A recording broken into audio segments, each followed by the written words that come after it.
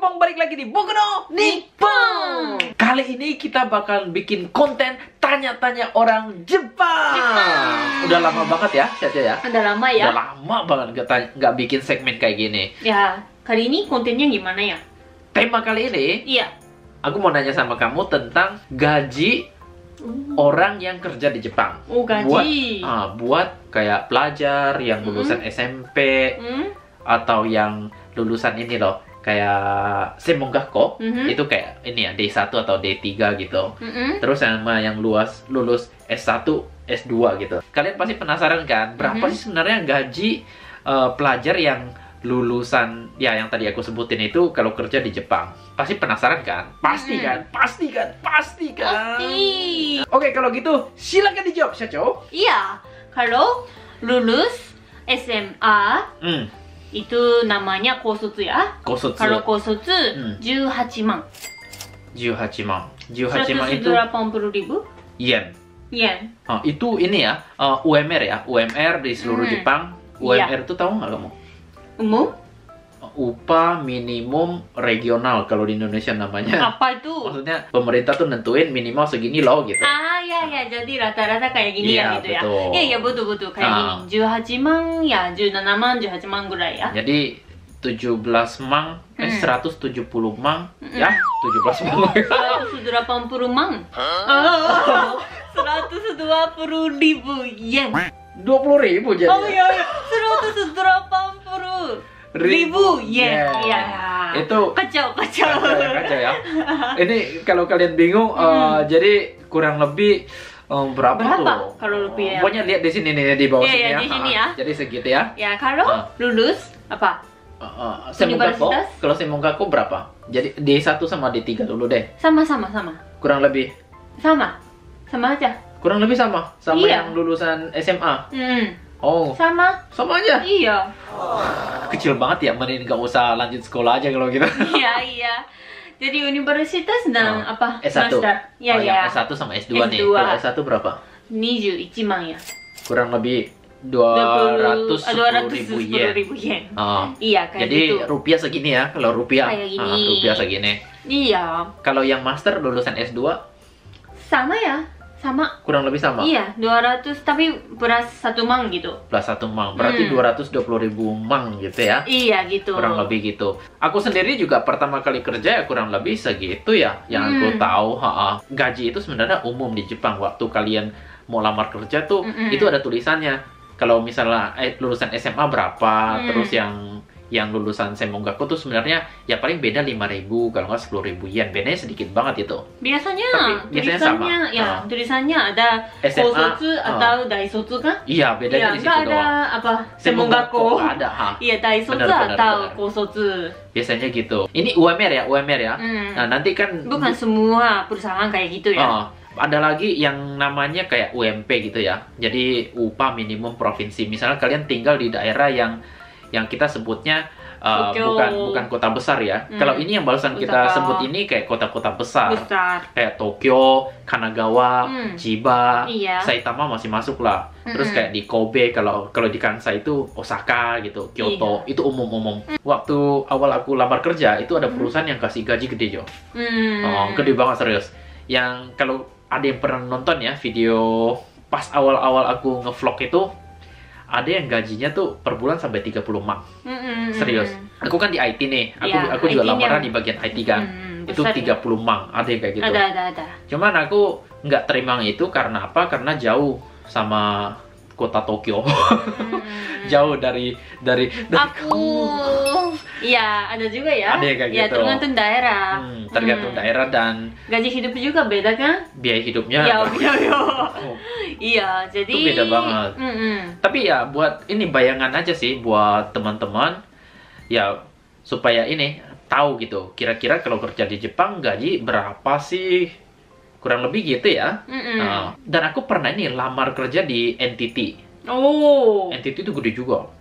27 mang Hmm. waktu aku lamar kerja itu ya. Kalau sekarang nggak tahu deh harga gajinya berapa. Dan kalau 30 mang Hmm. itu udah termasuk apa ya? Lembur. Iya, lembur juga. Udah termasuk lembur. Iya, Ah. jadi ya kelihatannya besar, Aha. tapi biasanya sebenarnya lembur- ada banyak ya lemburnya itu biasanya rata-rata tuh 30 jam. hmm. Yang yang kalau gaji kita udah termasuk sama uang lembur itu biasanya udah termasuk 30 jam waktu lembur. Mm-mm. Makanya gajinya itu hitungannya 27 mang, 30 mang atau yang eh, nggak dapat ini fasilitas rumah Hmm. dan ya macam-macam sih ya. Sebenarnya yang tadi sebutin itu itu ada tambahan kayak ini loh, kalian punya dapat fasilitas untuk ini apa eh, insurance, Apartemen. insurance juga kan, Mhm. terus apartemen, Hmm. Terus kalau kalian punya keluarga kel- Mhm. itu bisa dapat tunjangan juga, Iya. itu tunjangannya macam-macam tuh, itu umum-umum banget. Mm-mm. Balik lagi sih ke kalian, kalian eh, kalau mau kerja di Jepang, kalau mau tinggal lama di Jepang, eh, itu gajinya bisa naik lagi tuh. Mm-mm. Karena tiap tahun tuh naik gaji tuh. Umum itu umum banget. Iya. Uh, ada yang naiknya 3000 per tahun, 3000 yen ya. Ada yang 5000 yen per tahun. Dan ada juga yang bonusnya nggak macem-macem itu. Ya biasanya tambah umur tambah gaji juga. Pasti pasti. Iya. ha. Jadi kalau ada umum, ya pasti Gajinya gajinya, gede. besar. Kalau perusahaannya apa ya, tetap sama ya. Iya. Ya kalau apa berhenti, Kalau ganti. ya ganti. Ya ya ya, itu beda ya ceritanya. Bener-bener. Hmm. Makanya kalau mau kerja di Jepang, kalau Hmm. supaya Mau dapat gaji gajinya besar, gede gitu. Iya. Karena kan tiap tahun naik gaji tuh. Hmm. Apalagi kalian kalau bisa lanjut terus dan skill kamu bagus, Hmm. itu grade kamu bakalan naik lagi gitu. Iya. Hmm. Dikasih plus 3 mang gitu pas Hmm. naik grade gitu ya. Ada juga yang 5 mang, ada yang kayak gitu. Kalau di Indonesia mungkin apa ganti kerja Lebih itu lebih ya ya cepat ya. gajinya Ini lebih beda lebih beda. gede.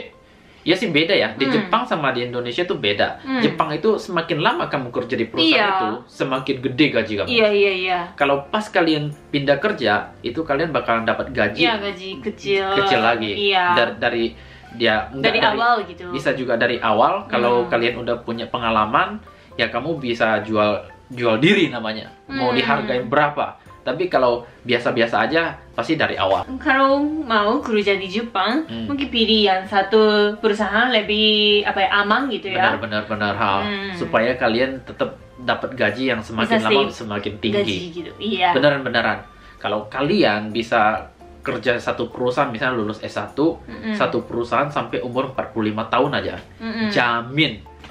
Satu tahun kalian bisa bawa pulang 5 juta yen 5 juta sampai yen. dengan 7 juta yen itu antara range itu ya Mm-mm. dan kalau rupiahnya segini kita nggak bisa hitung sekarang.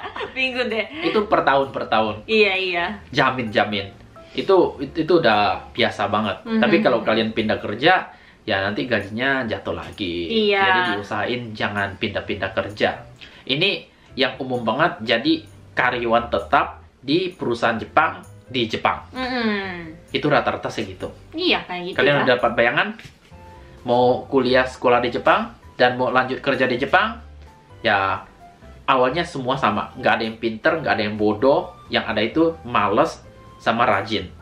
Itu startnya sama, gaji UMR semua. Sama. Bedanya kalau kalian tinggal di daerah hitungannya punya agak-agak inilah ya, bukan di kota besar, itu gajinya bisa lebih sedikit. Hmm. Contohnya misalnya di Kagoshima, Okinawa. Uh, itu Ya, gitu ya. itu biasanya gajinya bisa beda 1 Hmm, sampai 2 mang iya. lebih kecil dibandingkan kecil, yang tadi lebih Sacho kecil. sebutin Mm-mm. beneran percaya kenapa karena biaya hidup lebih murah Iya pasti. pasti dan yang kita sebutin ini barusan kan kota-kota besar itu udah umum ya Mm-mm. Jadi- Tokyo, Osaka, Hyogo kayak gitu ya. Hmm. Kobe ya. Miyagi juga kurang lebih sih sama ya Hmm. tapi kalau Miyagi yang deket-deket kayak Yamagata Ah ini Niigata, beda ya ceritanya. itu itu gajinya bisa lebih kecil Hmm. itu kan ada yang namanya sama kayak di Indonesia lah ada yang namanya UMR kan pertama tuh Mm-mm. regional terus ada yang namanya UMP P itu kan berarti kan provinsi sama ada satu lagi kan kayak UMK Mm-mm. kabupaten kalau nggak kota gitu jadi itu ditentuin lagi di masing-masing daerah ya semoga info ini bisa